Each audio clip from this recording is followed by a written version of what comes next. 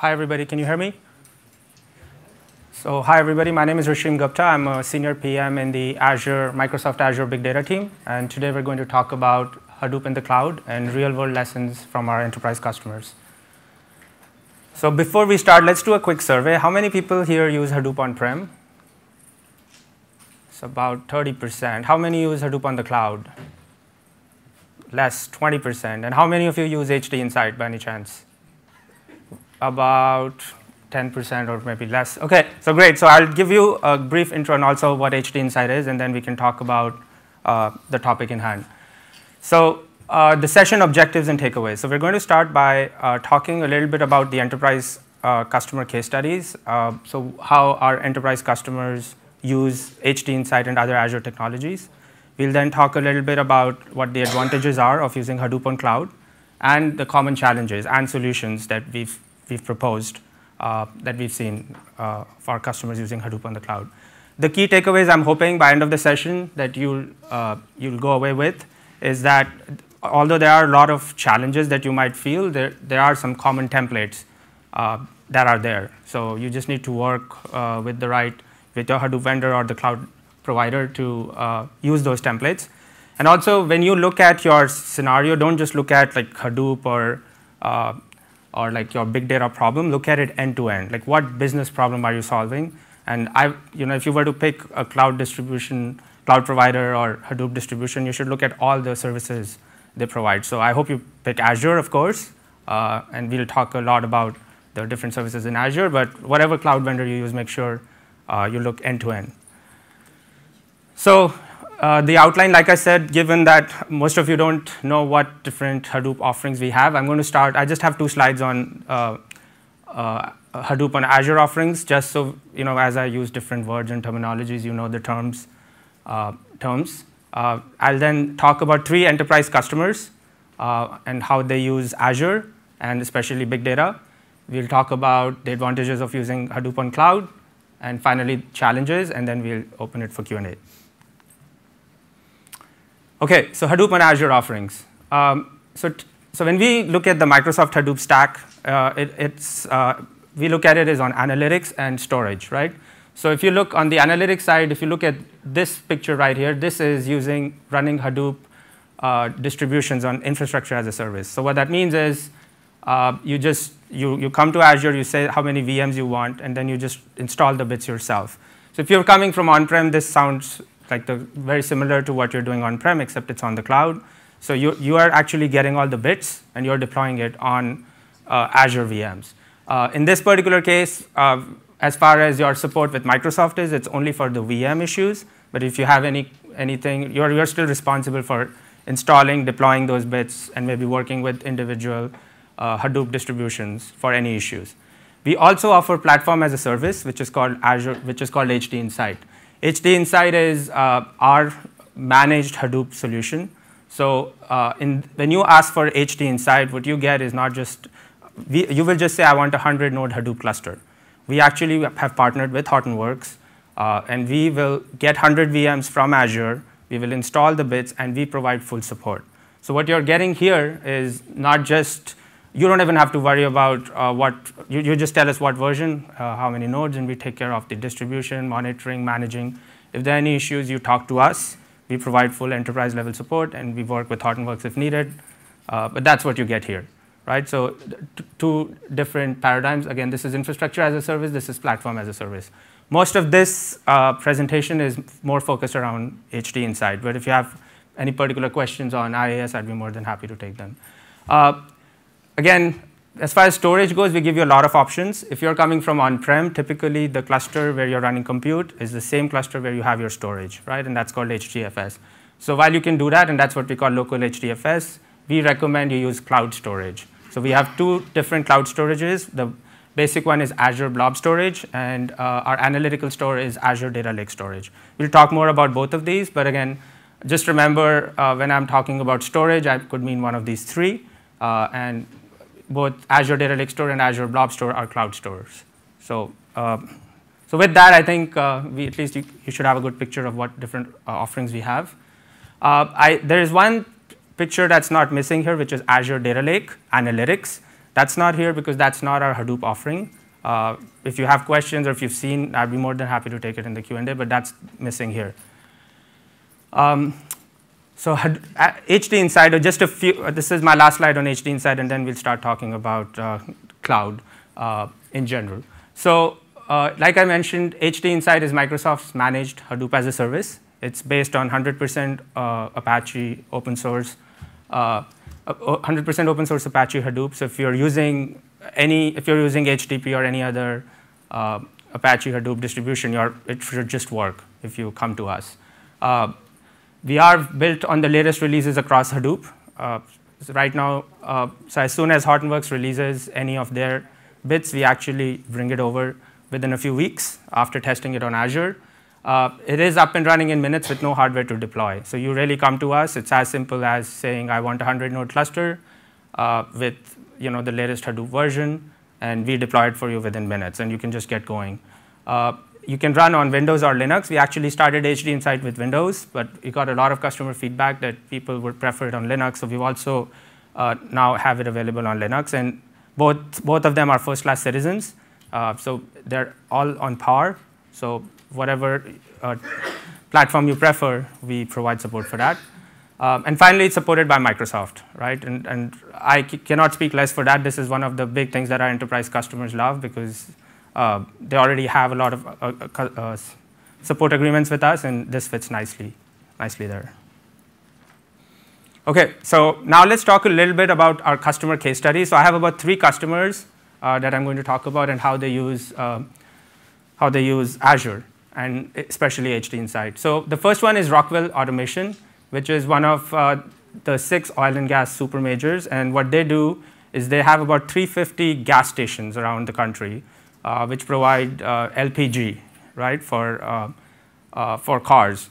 And most of these are unmanned. So their business problem was how do, you, how do we make sure that we are on top of the maintenance? and like if I have to send maintenance trucks, how do we make sure I'm sending it to a region where I can do similar maintenance in that region versus sending my trucks zigzag all around the country when needed, right? So it was a lot of, if you think about it, machine learning and predictive maintenance to figure out uh, clustering of problems, and so and based on that, making business decisions. So, so that was the high level uh, what the problem they wanted to solve. What they did was they actually put a sensor in every each one of these gas stations, and which would send a lot of uh, I think 10,000 data points every second, which would then get uploaded every five minutes to Azure Blob, which is our, if you remember, which is our cloud store. Um, once it reached Azure Blob, uh, they would run uh, Hive or Pig. Hive is our SQL on Hadoop, and Pig is more like a procedural language to do data cleansing. They would use Hive or Pig and use Azure HD Insight, which is our Hadoop offering, uh, and then use that to do their uh, to, to, to find out the proprietary algorithm for the predictive maintenance. Once they have that, they send it to Azure SQL DB, which is then used for reporting, uh, ad hoc querying, and they also send the same um, if, if they do find any predictive, uh, through their predictive analytics, if they do find something needs maintenance, they actually send an instant notification to uh, using mobile Azure Mobile Notification Hub to the mobile devices. So this is an example of how a customer like Rockwell Automation used uh, a lot of different Azure services to solve a real-world business case. If you're interested, we also have this on our website, uh, more details on this. Another example is Just Giving. So Just Giving is uh, a social network. What it does is uh, they actually find out what your interests are and what, you, what kind of things you really care about, and use that to suggest some, uh, some nonprofits or some you know, places where you might donate.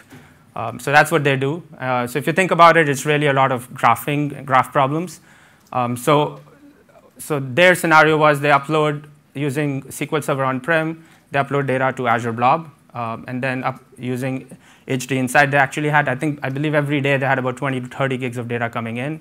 And then uh, they would implement their machine learning algorithms in HD Insight, which would multiply that to like 100 gigs because a lot of graphing going on, uh, which would then go to the activity feeds from there uh, using Azure Tables. It was fed real time to customers. So in real time in their feed, they would figure out uh, what they want to show, uh, what kind of you know uh, donations they might want to give, what kind of nonprofits they're interested in. the third one is one of the leaders in, in wind development, uh, and they have a lot of hundreds of wind farms across the globe, and each wind farm has 100 plus turbines. And their goal was again, uh, so each wind turbine would generate like a lot of data, right? And their goal initially was just they needed cheap storage, so they didn't even know what to do with it, so they just uploaded all the data in Azure Blob, right? With the expectation down the road that they would use it uh, for analytics. So down, eventually, once they had enough data, they, they thought, let's try to make some sense out of this data. So they ran a lot of uh, ad hoc analytical queries on it, and one of the things they found was that uh, are some generators in these windmills which cost like millions of dollars. Uh, and the main reason why they, they kept having those uh, problems were because one of the filters would, would, would, uh, would not work. So they, using, using this, they actually uh, replaced those filters on a periodic basis, which helped them save millions of dollars in costs. So these are just three examples of how enterprise customers use Hadoop. Um, so now let's talk about the advantages of using Hadoop on cloud. Um, so we're going to first talk about the cost savings.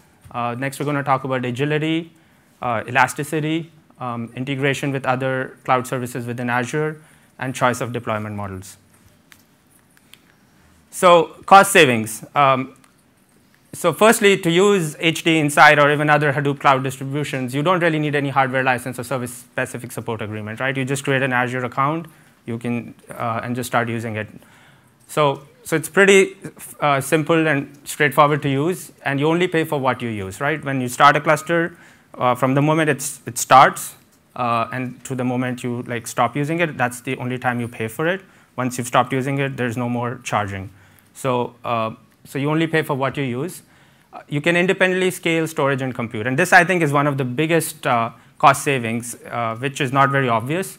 But if you think about it, on-prem, you use the same cluster for both storage and compute right? So as your storage grows, you have no choice but to keep increasing your cluster size, right? Uh, and same goes for compute. If you're, if you're not using a lot of storage, but you have more and more users submitting queries, you will have to keep increasing your cluster size.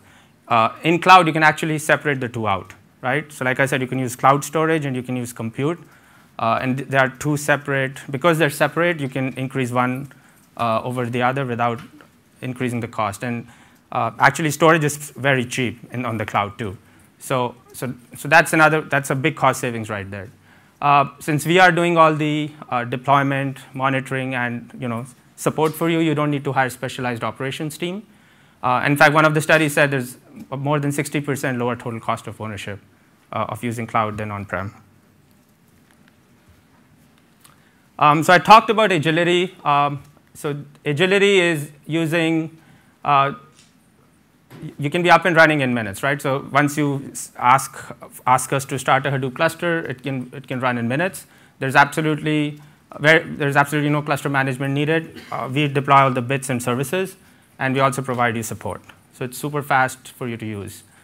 In terms of elasticity, uh, you can both scale up and scale out. So scale up means once you have a particular SKU uh, that we have, we actually offer 11 different VM types with different memory and CPU types, right? So you can, you can increase the size and you can actually decide uh, on a per, like if you, as you're bringing the cluster up, you can decide which VM type you want and you can change your mind later. So we allow you to scale up. We also allow you to scale out. So you can choose all from like one node to thousands of nodes as much as you want. Uh, if, once you have a cluster running, we even provide you a slider bar to like reduce or increase your cluster. So you don't, again, a lot of uh, choices there in terms of the cluster size. Um, integration with other cloud services. So uh, if you noticed, all the three examples I gave you, none of the customers only used Hadoop, right? They used a bunch of different Azure, Azure services. And that's something you know, we've realized over time that customers use different Azure services. And so we have, come, we have uh, what we call Cortana Analytics Suite, which is now actually renamed Cortana Intelligence Suite if you, if you uh, do read up on it, but which provides different Azure services which you can use. So for example, uh, right, right from the start, it provides a lot of info management, information management services like Azure Data Factory, Azure Data Catalog. Uh, so Azure Data Factory allows you to create pipelines and scheduling. Uh, and then that connects to, then you can use big data stores, so we, like Azure Data Lake, Azure Data Lake Store and Azure SQL Data Warehouse. Uh, we have machine learning and analytics, that's where HD Insight fits in, and then you can use our different visualization tools. So the, so the bottom line is if you do read up on Cortana Analytics that's where Azure HD Insight fits in. Um, and eventually you will end up using multiple services uh, for your scenario. Okay, so there are different cloud deployment models, and uh, this is also something interesting that the cloud gives you. So if you look at the always-on cluster, if you're coming from on-prem, this probably just sounds natural to you. What this really means is, if you come to the cloud, you can just start a cluster and keep it running 24/7, just like it is on on-prem, right? Uh, so you can use local HDFS or this uh, cloud store here. You, if you want to schedule jobs, you can use Oozie. Uh, and essentially, there's really no need da for data persistence or metadata persistence because you know, you're using uh, your clusters up and running all the time. However, we've seen more and more of our customers using the, another deployment model, which is cluster as a service. What this means is, what they do is if, if your job only has three hours of worth of work in a day, uh, so what they do is they start a cluster, run, run it for three hours, run their jobs, and then they kill the cluster. While, so while they, I mean, this sounds good, what happens to your data and metadata, right? Because once you kill the cluster, that goes away. So because we use cloud storage, your data is persisted, and you can also use Azure SQL as your metastore, persistent metastore. Uh, so, um, so, based, so because of this, now your data is persistent, your metadata is persistent, so you can kill, delete your cluster and bring it back again, point it to the same metastore and store, and it, it would be like your cluster never got deleted. Uh, also, if you do want to do scheduling, you can use our uh, Azure Data Factory, which allows you to do scheduling and pipelining outside the cluster, because since the cluster is not even running, you can't use Oozie, right? So that's where Azure Data Factory comes. So again, the key point is using different Azure services here is an example where you can save a lot of money, because if you just have a job running for three hours, I would rather have like 100 node, three hour cluster than a 10 node cluster running for 24 7, right? Probably this is cheaper and more, uh, more performant.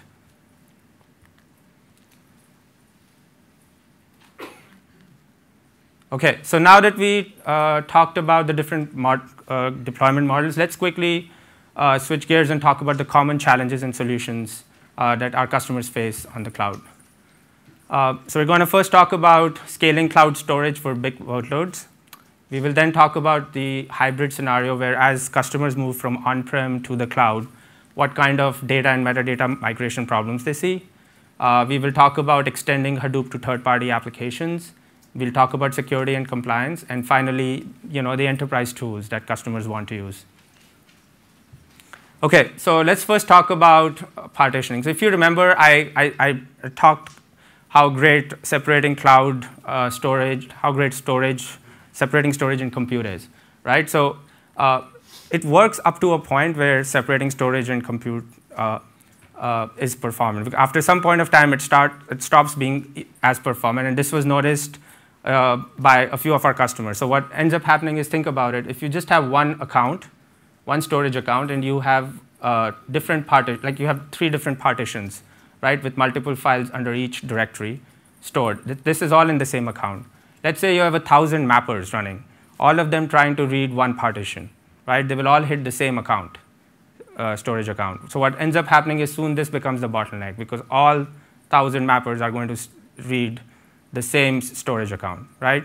Uh, so this was a problem that was observed by our customers. So what they ended up doing, the first step they did was actually, instead of having one storage account, they had multiple storage accounts. So in this particular example, because they had three partitions, they would create three different storage accounts, where each storage account would have uh, only data, only data for their partitions, right? So now again, while this sounds good in principle, if you think about it, what ends up happening is again, if you have thousand mappers, they will all, uh, because of partition pruning, they might end up all reading from the same storage account, right? And again, this storage account still becomes bottlenecked, right? So even this will not work. So let's, before we move ahead, let's just recap what we did.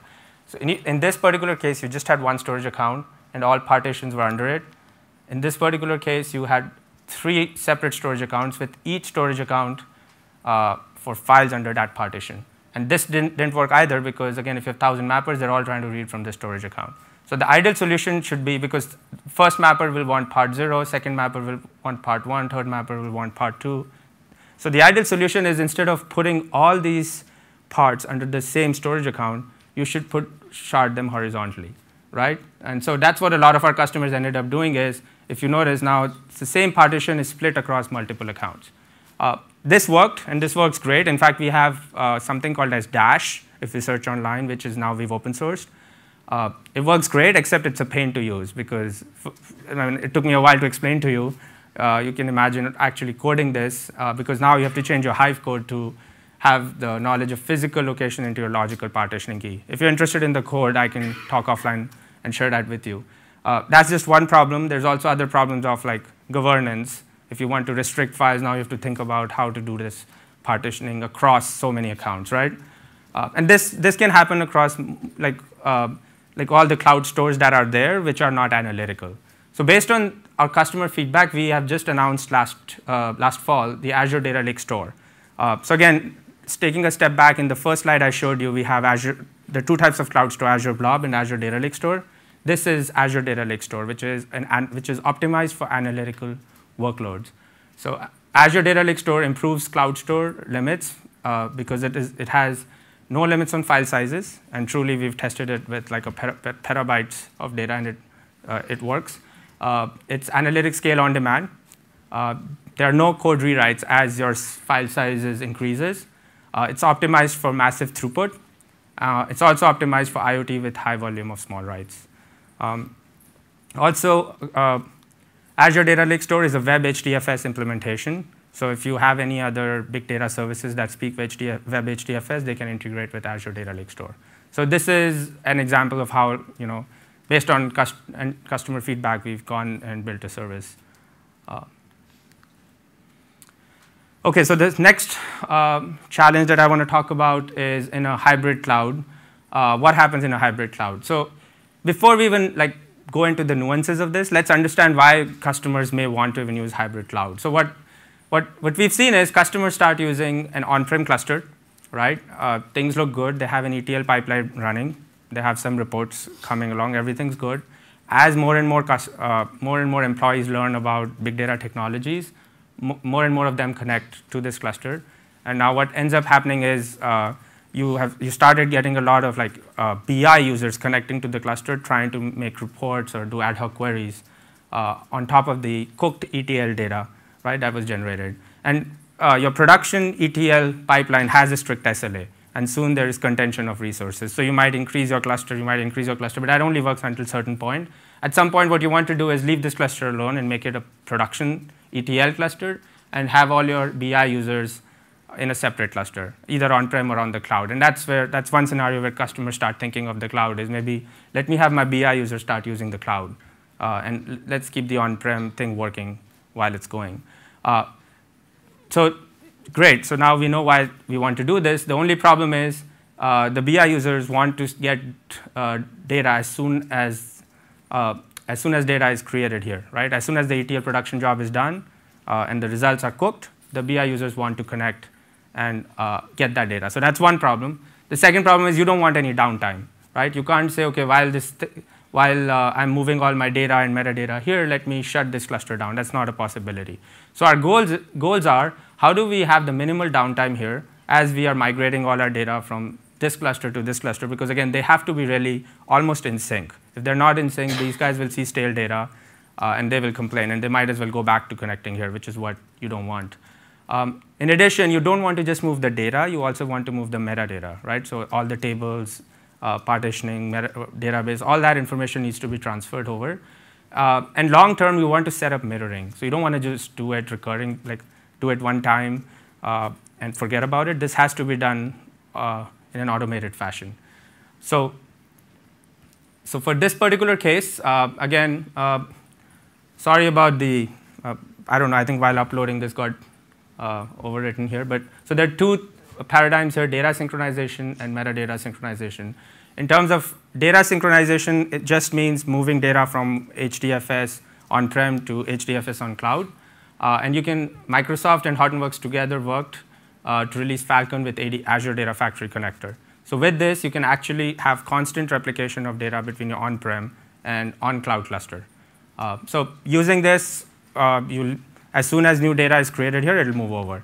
While data is copied over, metadata is not, right? So you still have to figure out uh, how to copy metadata. And it's important to copy metadata because without metadata, you know, you'll have to recreate all the tables and DDL on the other side, which is a pain. Uh, so for metadata synchronization, uh, if you, uh, if again, both of them are already on the cloud, it's super easy. You can just have them share the same meta store, right? But in this particular case, uh, they're not, one's on-prem and one's on the cloud. So, you, so if the on-prem cluster is using SQL Server, you can just use the always-on availability groups feature in SQL Server to replicate the metadata and keep them in sync nonstop between on-prem and cloud.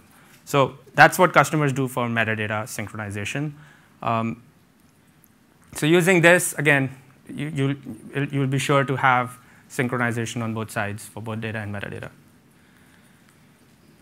Okay, so one of the other uh, questions that often comes from enterprise customers is, uh, how do we make sure that the Hadoop cluster that we've created on the cloud is an extension of our network, right? So Azure has this feature called VNet, which you can deploy, which what it does is it creates a subnet within your network. So you can deploy a Hadoop cluster on the cloud, and using VNet, it will become a part of your network, so which will make sure all your, uh, all your uh, tools etc. work directly uh, with and stay within your network. So that's what uh, that's how you can extend Hadoop to your on-prem uh, corporate network.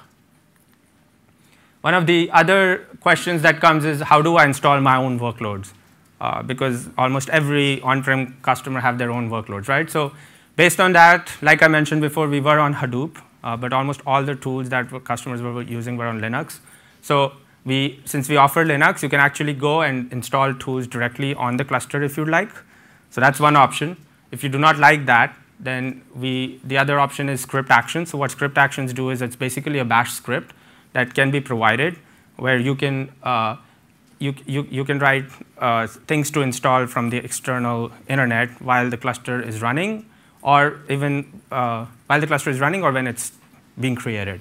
We also provide a lot of script actions ourselves. So that's the second option. Uh, thirdly, which is what we recommend, if, if, um, if you have a VNet, you can have like an edge node. And edge node is just another VM within your VNet uh, where you can actually install uh, your tools. And also the other advantage of having VNets is if your tools are talking directly to uh, worker nodes, uh, VNet and edge nodes will allow you to do that.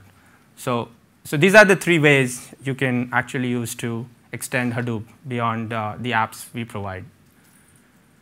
Um, so ISV solution. So uh, what we also want, like one of our goals is to make sure you're very productive with Hadoop right uh, as soon as you start. And so what we've gone and done is we've worked with a lot of different ISVs uh, in the industry, and a lot of them are available out of the box. And I'm going to share some of them with you. Uh, the advantage of having these uh, ISV applications is they provide a lot more features than what's not available in Hadoop. Uh, for example, query designing, OLAP BI capabilities, fine-grained access control, drag and drop, uh, drop data pipelining, etc. Uh, some of these are Datameer. I'm not going to talk a lot about these. You can go uh, research, but Datameer quickly allows you to use uh, design queries in Excel and then run MapReduce underneath. Uh, you can use AtScale, which allows you to run OLAP BI type queries uh, again, use on a Hadoop cluster. Um, and Cask, which quickly allows you to create pipelines using drag and drop. So these are just three examples of uh, ISVs. We work with a lot more. If you have a particular need of one, you can come talk to us offline, or if you are an ISV, we would love to have more conversations. Um, then we'll talk a little bit about security. Uh, so Azure Security, we today uh, we have encryption at rest, which is in preview, which was just announced a couple of weeks ago on the Azure Blob Storage. So this has been a demand again from a lot of our customers who wanted encryption at rest, so it's now available. So if you're looking for that, our cloud storage has this. Uh, and so the, the, encryption at rest is uh, using Microsoft Managed Keys. We also partner with Blue Talon, who, which is an ISV, uh, which does provide multi-user access, authorization policies, auditing, row and column level security. Um, so so you can also look at Blue Talon, and it works on HD Insight out of box. Okay, uh, so one of the uh, other uh, questions that comes often from our enterprise customers is uh, they while they're not only do they want to use what's available in the open source, but they also want to integrate with the tools that they use in house, right? So like a lot of these development tools. So for example, uh, as far as open source goes, already HD Insight works with Hue, Ambari views, Uh, we support Jupyter and Zeppelin. Uh, in addition, what we have done a lot of work to extend uh, Visual Studio and IntelliJ. So if you are working uh, using Hive or Pig, you, you, know, they work directly uh, in Visual Studio and you can actually integrate it with your projects. So here are some, so, so, with, so we have deep integration of Visual Studio and it's easy, for, no, easy to write simple queries. Uh, it's integrated with Pig, Hive, and Storm. And there's actually a playback that visualizes performance to identify bottlenecks and areas for optimization. Uh, I have some screenshots here. So here is an example of, of how actually, if I go to the next one, it's even, yeah. So this is all Hive code right here. So you can actually write Hive within Visual Studio. The way it works is you just download our Visual Studio plugin for HD HDInsight, and then you can start writing Hive code. Uh, it actually uses IntelliSense to uh, fetch remote metadata, so you don't even have to remember the table names. On the left, you can see we have the list of clusters and what databases and table names you have. And on the right, this is like your solution explorer where you can add all your projects, uh, other files within your project. Uh, as far as debugging goes, again, within Visual Studio, you can see the job graph. But what's more important with the job graph is you can see more details like how many tasks, how long it took, how much data was read, and how much was written. So if you think your job is taking too long, you can quickly look at this job graph, and you can figure out, okay, this particular uh, this particular uh, reducer took too long because you know it's writing one terabyte of data or something. You, if you select it, it'll actually show you which uh, Hive query is causing that. So uh, makes you a lot more productive in debugging. This is uh, IntelliJ. Similarly, similar to uh, Visual Studio, you can see your clusters here. You can write your uh, Java Scala code here, and you can submit it to the uh, you can submit your job to the clusters. Uh, we also support Hue, like I mentioned. Hue is state-of-the-art uh, Hue along with Ambari views is what customers use to author queries uh, on Hive and Pig. Uh, we also support notebooks like Zeppelin um, uh, and, and Jupyter. Okay, so let's recap what we learned. Um, so the session objectives were to understand what the advantages of using Hadoop on cloud were and what the common challenges were. Um, and like I mentioned, I think if, you must, um, when you, you saw that for each challenge, we did have a proposed solution. So that's something to keep in mind is uh, a lot of uh, good work being done across the industry to solve these challenges. Um, and secondly, like I, have shown you in a few examples, you shouldn't just look at Hadoop or big data as, as uh, one service. You should look at it end to end, right? Like in, within Azure, we have a lot of different services, like in Cortana Analytics Suite, uh, cloud storage, Azure ML, uh, Azure Data Lake. Um, so you should look at it end to end because when you start using cloud, you'll soon realize you're going to use the entire stack and not just one service. So questions?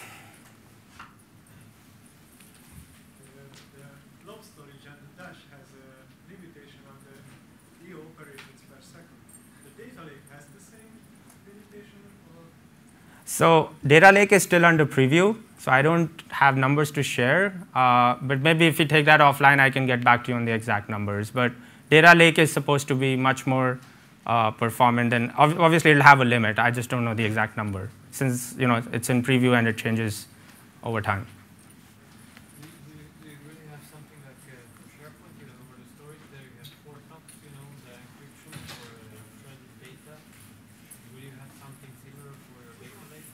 So I didn't get the question. Is your question, will encryption come in Azure Data Lake Storage? Uh, the answer is it's high on our roadmap. I don't have any timelines yet, but yes, that's something in our roadmap. any other questions?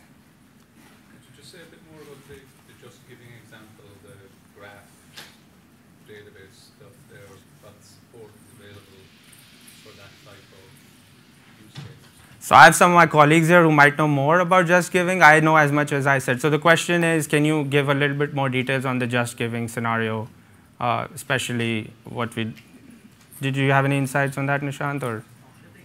What exactly is the question? So what support is there for graph database use case?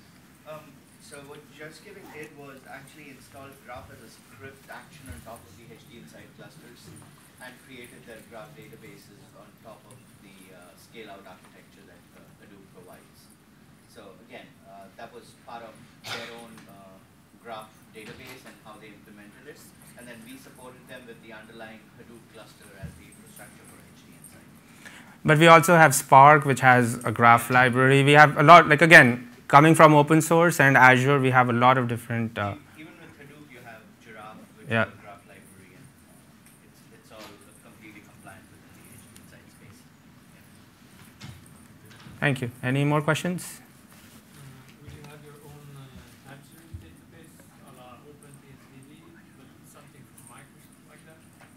So, uh, time series database, I know customers have used the open source one. Um, I do not know if, I'm sure someone's probably working on it in Azure. I do not know personally. Um, We, you've got a lot of options inside of Azure to implement that uh, all by yourself. So you've got HBase as clusters, which you can go ahead and implement as one, Yeah, but as I well mean, as from Azure Microsoft. tables. is that,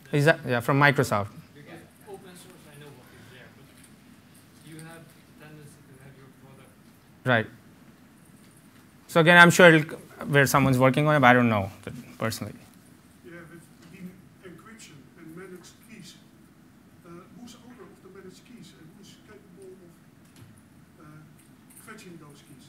Or are you give those keys maybe to the NSA, FBI? So we have uh, the, uh, we have a, sorry, can you repeat the question so Arindam can answer that? So he's a security PM, so. What's the question again? Yeah, about encryption. In the slides was mentioned uh, managed keys. So who can fetch the managed keys? Because me as a consumer, I would be the only one who could fetch that key and not Right. somebody else. Right, so, so the current implementation that uh, is in preview, uh, the Azure storage team uh, previewed last, uh, I think, a couple of weeks back actually. Uh, that the manage, the keys are managed completely, uh, it's, it's transparent to the customer. So you don't specify the key. Uh, Microsoft will, you know, uh, will provision the key, manage it, rotate it, etc.